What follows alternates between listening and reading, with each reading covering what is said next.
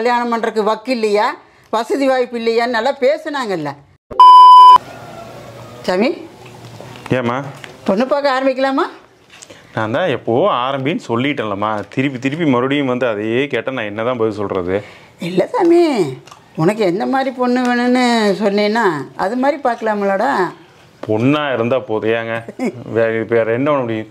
அது பொண்ணு அப்படின்னா போதும். விடு வேற என்னத்தை நான் சொல்கிறது அதுக்கு இல்லை என்ன படிச்சிருக்கணும் அப்படின்னாலும் நீ நினைப்பியல்ல? அதெல்லாம் ஒரு ஆசை.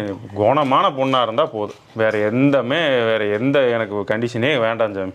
ஓ சரி. ஓஹோ நம்மளை எல்லாம் பார்த்துக்கிற மாதிரி நல்லா குணமாக இருக்கிற பொண்ணா வேணுங்கிற. நீ அதுலேயும் என்ன சிக்கல் தெரியுங்களா?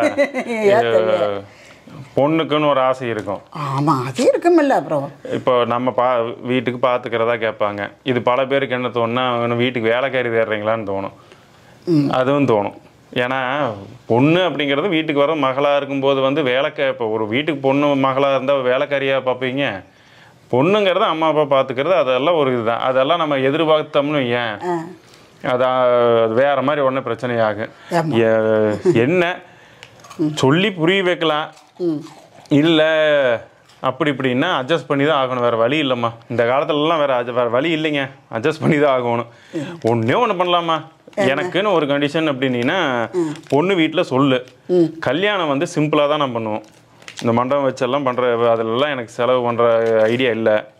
ஸோ சிம்பிளாக கோயிலில் பண்ணிக்கலாம். அப்படி இல்லைன்னா ரெஜிஸ்டர் ஆஃபீஸில் பண்ணி ரொம்ப சிம்பிளாக பண்ணிக்கலாம். இது வேணா நீ கேளு. ஏண்டா நீ சொல்கிற சரி பணத்தை மிச்சம் பண்ணிக்கலாம் ஏன் வெட்டி செலவு பண்ணணும்னு சொல்கிற ஆனால் பொண்ணு அந்த மாதிரி அதுக்கு ஒத்துக்குவாங்களாடா? ஆ? நியாயமான கேள்வி தான் உங்கள் அண்ணனுக்கும் உனக்கும் இதே மாதிரி தானே பொண்ணு பார்க்க போகும்போது நம்ம சொன்னோம். பொண்ணு வீட்டுக்காரர்கிட்ட சிம்பிளாக செய்யலாங்க அப்படின்னு.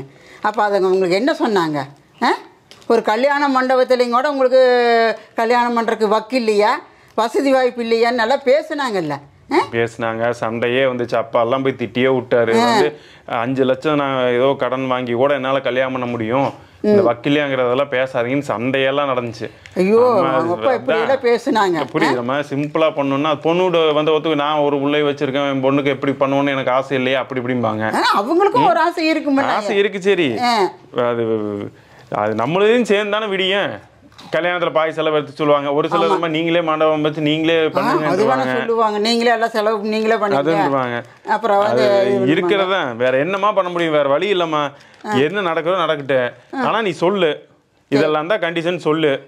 கண்டிஷன் கூட சொல்ல வேண்டாம். அந்த வார்த்தை சொன்னா கூட கண்டிஷன் எல்லாம் போடுற அளவுக்கு பெரிய ஆளாங்க மாதிரிலாம் வாரு அதனால இது வந்து எங்களோட விருப்பங்க. அப்படின்னு சொல்லு. இதுக்கு ஏதாவது ஒத்து வர மாதிரி இருந்ததுன்னா அதுக்கப்புறம் பார்க்கலாம். அந்த ஒத்து வர மாதிரி இருக்கிற இடத்துக்கு நம்ம போய் பொண்ணு பார்க்கலாம். பார்க்கலாம். அது அதெல்லாம் பேசி அப்புறம் அது வேணா பார்க்கலாம். சரி சாமி நீ சொல்கிறது தான் கரெக்டு அந்த மாதிரி இருக்கிற இடமா நான் பார்த்து சொல்கிறேன் சரியா? சரி.